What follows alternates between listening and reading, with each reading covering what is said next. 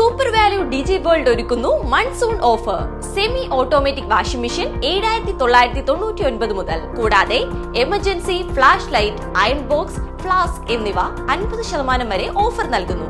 ഏവർക്കും സ്വാഗതം.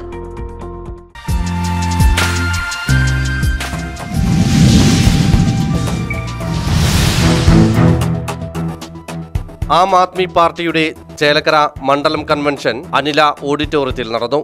A Y W സംസ്ഥാന പ്രസിഡന്റ് ജിതിൻ സദാനന്ദൻ കൺവെൻഷൻ ഉദ്ഘാടനം ചെയ്തു.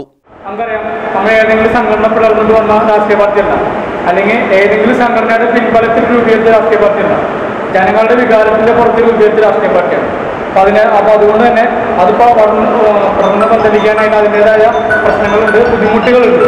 അപ്പൊ അതൊക്കെ മനസ്സിലാക്കിക്കൊണ്ട് കൃത്യമായി ഏതൊക്കെ രീതിയിൽ ഏറ്റവും എളുപ്പത്തിൽ പാർട്ടിനെ അധികാരത്തിലെത്തിക്കാം.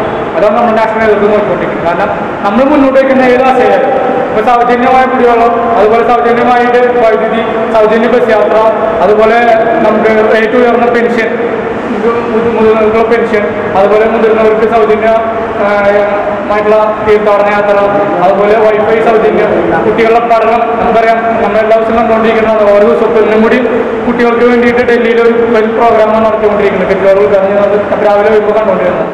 ആം ആദ്മി ജില്ലാ പ്രസിഡന്റ് ടോണി റാഫേൽ ചടങ്ങിൽ അധ്യക്ഷനായിരുന്നു. സംസ്ഥാന കമ്മിറ്റി അംഗങ്ങളും അതുപോലെ തന്നെ പതിനാല് ഡിസ്ട്രിക്ട് കമ്മിറ്റി പ്രസിഡന്റുമാരും അപ്പോയിന്റ് ചെയ്യുകയുണ്ടായി തുടർന്ന് തൃശ്ശൂർ ജില്ല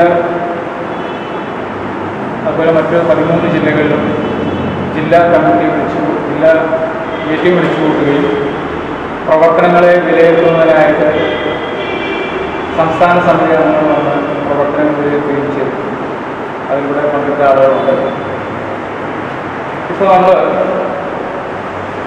തൃശ്ശൂർ ഡിസ്ട്രിക്ട് പ്രസിഡന്റ് ഒഴികെ ബാക്കിയുള്ള ജില്ലാ കമ്മിറ്റി അംഗങ്ങളെയും ഒപ്പം മണ്ഡലം ഭാരവാഹികളെയും കണ്ടെത്തുന്നതായ പ്രവർത്തനങ്ങൾ നടന്നുകൊണ്ടിരിക്കുകയാണ് Roy Paul Roy Mathew Shaji Joseph M P Basheer K Harris Joji Philip തുടങ്ങി നിരവധി ആളുകൾ കൺവെൻഷന് നേതൃത്വം നൽകി. ചേലക്കര മണ്ഡലത്തിലെ പുതിയ ഭാരവാഹികളെ തിരഞ്ഞെടുക്കുകയും ചെയ്തു. Right vision news Chelakkara.